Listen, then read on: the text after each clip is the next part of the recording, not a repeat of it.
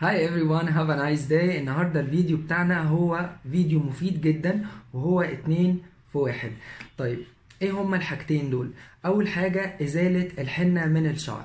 تاني حاجة هتكون إزالة قشرة الشعر أو القضاء عليها تماما بنسبة 100% طيب تالت حاجة بقى إن هو هيكون بمواد ومكونات طبيعية 100% طيب هتقولوا لي مثلا إزالة الحنة من الشعر. بتاخد كام جلسة؟ أو بعد قد إيه الحنة بتروح من شعرنا. طيب هقول لكم بتاخد كام جلسة دي بترجع طبعا على طبيعة كل شعر. ده اولا. ثانيا بترجع على نوع الحنة اللي إحنا حطيناها على الشعر سواء هي كانت سودة أو حمراء أو كانت آه، حنة فرد لفرد الشعر آه، يعني على حسب. أو هي حنة طبيعية فهي بترجع على نوع المنتج. تمام؟ طيب كام جلسة دي؟ دي بترجع زي ما قلنا على آه، نوع ال- المنتج اللي إحنا حطيناه على شعرنا. بس هو في انواع بتاخد 3 جلسات في انواع بتاخد من 7 ل 10 جلسات. وهقول لكم برضو في نص الفيديو إزاي كمان نتأكد ان الحنة أو نعمل تيست كده بسيط نعرف ان الحنة راحت من شعرنا أو لا.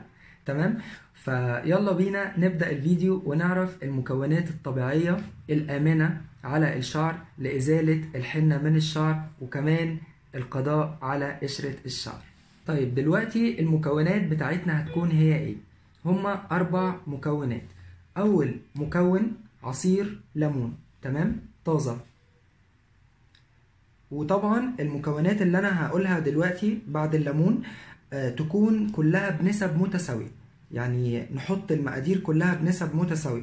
هتقولي لي مثلا قد إيه؟ هقول لكم كل شعر بيختلف عن التاني على حسب طوله أو كثافته أو آه، آه، هو طبيعة الشعر بتشرب آه، المواد بسرعة ولا لأ. فدي طبعا أنتوا تقدروا بقى تحددوها وتقيموها بنفسكم حسب طبيعة كل شعرة بس أهم حاجة يعني كل المكونات تكون متساوية. تمام؟ طيب أول حاجة عصير ليمون. يعني طبعا هي كمان الوصفة دي لإزالة الحنة من الشعر وكمان مش بس كده هي تغذية الشعر شعر صحي شعر لامع آه، ترطيب رهيب للشعر فهتحسوا بالفرق عموما فهي مش هتكون بس لإزالة الحنة. تاني حاجة تاني مكون معانا هيكون خل تفاح. تمام؟ يعني أنا يعتبر خدت معلقة عصير ليمون طازة أصفر. تاني حاجة خدت معلقة خل تفاح. طبيعي وأهم حاجة تبقوا واثقين من مصدر المنتج اللي أنتوا جايبينه. تاني حاجة معلقة خل تفاح. تمام؟ طيب تالت مكون معانا من السوائل هيكون زيت زيتون. برضو اتأكدوا إن هو يكون زيت زيتون طبيعي. تمام؟ هناخد منه معلقة كده كل النسب زي ما أنتوا شايفين هي نسب متساوية وبكميات متساوية. هناخد معلقة baking soda اللي هي صودا الخبز. ده بيكون شكلها. تبقى عاملة زي ال powder كده أو اسمها baking soda أو صودا الخبز أو بتكون اسمها كربوناتو بالمصري. تمام؟ هناخد منها معلقة وهنحطها. طبعا أنتوا زي ما أنتوا شايفين هي بتفور شوية. ما تقلقوش من الفوران ده. بصوا هي طبعا مع مع أي مادة حمضية سواء خل أو ليمون بتفور كده زي ما أنتوا شايفين. فطبعا ما تقلقوش من الموضوع ده خالص. هنقلب كويس جدا لحد ما ما المكونات بتاعتها أو المكونات كلها تمتزج مع بعض وتدوب كويس جدا. تمام؟ وتبقى ما فيهاش أي تكتلات أو أي لسه رواسب powder من ال من المنتج ده أو من ال baking soda طيب أهي المكونات كلها دابت تمام؟ طيب دلوقتي هنطبقه إزاي على الشعر؟ طيب إحنا بنحط بندوب المكونات دي كده كويس مع بعض وبعد كده بنجيب طبق غويط شوية أو يعني غويط شوية وبعد كده بنجيب شعرنا بنحطه فيه ويكون شعرنا مغسول ونضيف تماما من أي حاجات فيه أو أي مواد دهنية كانت أو كريمات أو كانت فيه كانت فيه. فهنحط شعرنا جواه وبعد كده بنبدأ نفرك الشعر كويس جدا جدا جدا جدا ونخلي ال- الخليط ده يتغلغل جوه الشعراية. تمام؟ وبعد كده بنسيب شعرنا مفتوح وبعد كده بنعمل إيه؟ بنقعد بنعرض شعرنا لمدة نص ساعة في الشمس. أقل حاجة بنسيب الخليط ده على الشعر 3 ساعات. دي أقل حاجة بنسيبها فيه. طيب هتقولوا لي نستخدمه كام مرة في الأسبوع؟ طيب ال ال الخليط ده هنستخدمه 3 مرات في الأسبوع. تمام؟ طيب هيكون في أربع أيام بعد كده. الأربع أيام بعد كده دول هنعمل فيهم إيه؟ هنعمل فيهم حاجتين. أول حاجة دول ثلاث مرات ثابتين أنتوا تحددوا الأيام بتاعتكم ال- الثابتة في الأسبوع. بس قبل ما هقول لكم الحاجات التانية لما نيجي نغسل شعرنا من ده بعد طبعا مرور الثلاث ساعات هنعمل إيه؟ بنغسل شعرنا بشامبو ضد القشرة. تمام؟ أهم حاجة يكون شامبو ضد القشرة لأن شامبو ضد القشرة بيساعد على نزول أي لون من الشعر بسرعة سواء حنة أو صبغة. تمام؟ زائد إن هو طبعا مفيد لعلاج قشرة الشعر والخليط ده كمان مفيد جدا لعلاج قشرة الشعر بسبب خل التفاح وبسبب عصير الليمون. تمام؟ طيب دلوقتي نرجع لموضوعنا. ده هنغسله زي ما قلنا بشامبو ضد القشرة ونعمله 3 مرات أسبوعيا وبعد كده هنعمل إيه بقى؟ وطبعا هيكون معانا زي ما أنا قلت لكم أربع أيام تانيين. يعني ده يعتبر 3 مرات في الأسبوع يعني 3 أيام في الأسبوع. في أربع أيام فاضلين. طيب يوم هنستخدم عصير ليمون بس. هنجيب طبق برضو غويط فيه مية دافية وفي عصير ليمون بس يكون عصير الليمون أكتر من المية الدافية. تمام؟ وبعد كده هيكون شعرنا برضو مغسول ونضيف ومفهوش أي حاجة بنجيب شعرنا بنفضل نحط شعرنا في الطبق لحد ما الشعر يتشرب كله كله من عصير الليمون تمام؟ وبعد كده نخرج نقعد في الشمس نص ساعة وبعد كده لحد ما ينشف. وكل ما الشعر ينشف تمام؟ نجيب سبراي زي ده ونرش على الشعر كده. تمام؟ وبعد كده نتعرض لأشعة الشمس تاني. وبعد كده الشعر ينشف وهكذا. لو مش هنعمل الموضوع ده أقل حاجة نسيبه 3 ساعات على الشعر وفي حاجة كمان آه، عصير الليمون هيخليكم آه، نوعا ما آه، تحسوا إن شعركم بقى جاف. تمام؟ ما تخافوش من ده. طبعا هو مادة طبيعية ومش مضر. وطبعا أفضل كتير من إن إحنا لما نيجي نشيل مثلا حنة من شعرنا بعصير الليمون ب- بمواد طبعا كيميائية أو آه، صبغة أو الكلام ده طبعا بتنشف برضو الشعر وكمان بتحرق الشعر. على الأقل ده مش هينشف هينشف الشعر بس آه لكن مش هيحرق الشعر ولا هيضره. تمام؟ زائد إن هو طبعا انتي بكتيريال آه بيدي لمعة حلوة جدا للشعر بيقوي الشعر حاجات كتيرة جدا بتفيد الشعر. تمام؟ من الليمون.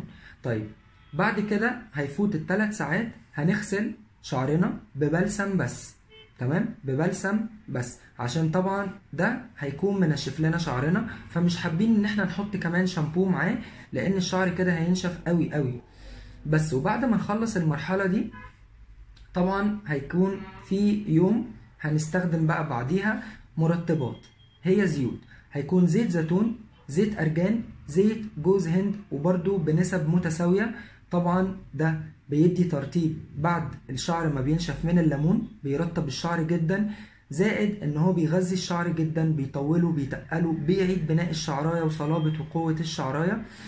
آه، رابع حاجة بيعمل إيه كمان؟ بيساعد على إزالة الحنة من الشعر. الزيوت دي فيها مواد معينة بتخلي ال- الصبغات أو ال- أو الحنة تنزل من الشعر بطريقة سريعة زائد إن طبعا الشعر هيحصل له ترطيب بعد ما هينشف من عصير الليمون. تمام؟ طيب دلوقتي إحنا كده خلصنا موضوع الليمون. هيكون مرة في الأسبوع. تمام؟ طيب في بعد كده يوم تاني هنستخدم فيه إيه؟ وصفة العسل.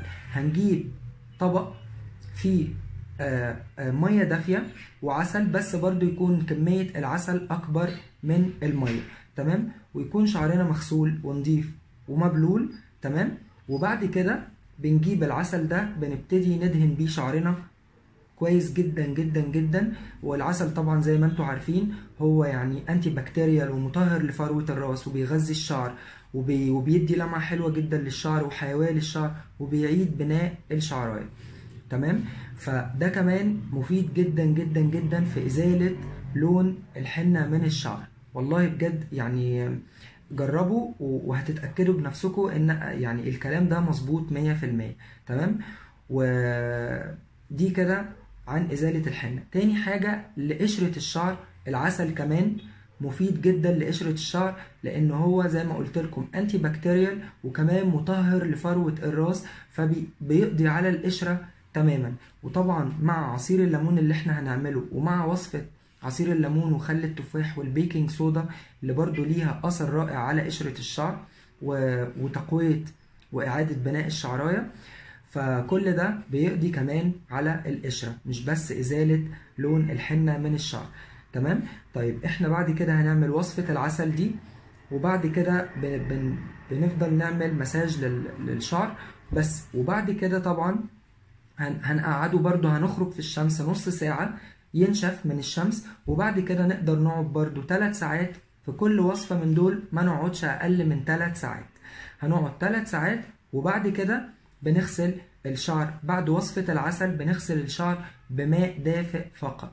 مية دافية. مش أكتر من كده. مش محتاجين نحط شامبو أو كونديشنر. تمام؟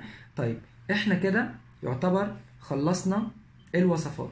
بعد يعني الأيام بقى اللي هي تبقى هيبقى ما فيهاش وصفات بنعملها على شعرنا بنحط زيت الأرجان مع زيت ز... مع زيت الزيتون مع زيت جوز الهند بنسب متساوية تمام؟ كترتيب وفي نفس الوقت إزالة وعناية طبعا روتينية بالشعر زائد إزالة الحنة أو اللون الغير مرغوب فيه من الشعر تمام؟ طيب دي كده كانت ال ال الوصفة بتاع بتاعتنا في الفيديو إن هو إزالة الحنة من الشعر وإزالة قشرة الشعر والقضاء عليها تماما. طيب وفي حاجة كمان عايز أقولها لكم عن الوصفة الأولانية اللي هي وصفة خل التفاح وعصير الليمون. هتقولوا لي بتاخد كام جلسة؟ أنا قلت لكم على حسب الشعر. ونوع المنتج هل كانت الحنة قوية على الشعر أو لأ؟ هل كانت مجرد لون أو حنة فرد؟ كل ده بيفرق في عدد الجلسات. طيب دلوقتي المدة بتاعتنا يعني في شعر بياخد من بعد تالت جلسة الحنة خلاص بتروح وفي شعر بياخد من سبع لعشر جلسات وبرده الحنة بتروح. طيب أنا دلوقتي عايز أقول لكم على إزاي نعمل تيست صغير نتأكد إن الحنة راحت من شعرنا. طيب إحنا بعد ما بنخلص أو بنعمل مثلا على الأقل بنعمل أسبوعين الوصفة دي مع بقية الوصفات اللي أنا ذكرتها. بعد ما يفوت الأسبوعين بنعمل إيه؟ بنجيب خصلة من شعرنا بس نكون متأكدين إن الخصلة دي كانت فيها كمية حنة كبيرة أو فيها حنة. إحنا متأكدين من ده. بنجيب الخصلة دي وبنجيب أي نوع صبغة فاتحة تكون فاتحة قوي ونحطها ونخلطها كأننا هنصبغ خصلة الشعر مع أكسجين 20 تمام؟ بنجيب خصلة الشعر بنبتدي نصبغها في المكان اللي إحنا متأكدين ان فيه حنة بنصبغها وبعد كده لو لقينا ان الخصلة بعد مرور 15 دقيقة أو تلت ساعة اتفتحت معانا وقبلت اللون والشعر يعني قبل انه انه انه انه يتفتح أو يتصبغ خلاص إحنا كده نكون اتأكدنا ان الحنة راحت من شعرنا. تمام؟ وخلاص ونطمن. لكن لو لقينا ان الشعر ما فتحش أو ما ما استجابش لل للصبغ خالص. ده معناه إن الشعر لسه فيه حنة وهنعمل إيه؟ هنكرر الوصفة تاني لمدة أسبوعين تانيين. وبعد كده هنعمل نفس التست لحد ما نتأكد خالص إن الحنة راحت من شعرنا. طبعا هو يعني هو ممكن العلاج يطول شوية أو إنه الجلسات تطول شوية بس معلش أهم حاجة عشان ما نضرش شعرنا وما نحرقهوش لأن أكبر خطر إن إحنا نصبغ شعرنا وهو عليه حنة. لازم الحنة تتشال من الشعر الأول لأنه في خطورة جدا إن الشعر يعني ربنا يعافينا إنه الشعر يتحرق أو يقع. فلازم نطول بالنا وناخد الحذر وطبعا ونكرر الجلسات تاني لو لقينا مفيش تحسن أو الحنة لسه موجودة في شعرنا. بس وأتمنى إن يكون الفيديو أفادكم وتكونوا استفدتوا وتكونوا المعلومات آه، وصلت لكم بكل سهولة والشرح واضح ومفهوم. وأتمنى بقى منكم ال likes الكتير وال share الأكتر وإن أنتوا تعملوا share لكل أصحابكم اللي شعرهم فيه قشرة أو آه، صابغينه بحنة وعايزين يشيلوا لون الحنة من شعرهم تعملوا لي share كتير للفيديو ده عشان كمان القناة تكبر بيكم وبدعمكم. أشوفكم الفيديو الجاي. bye bye.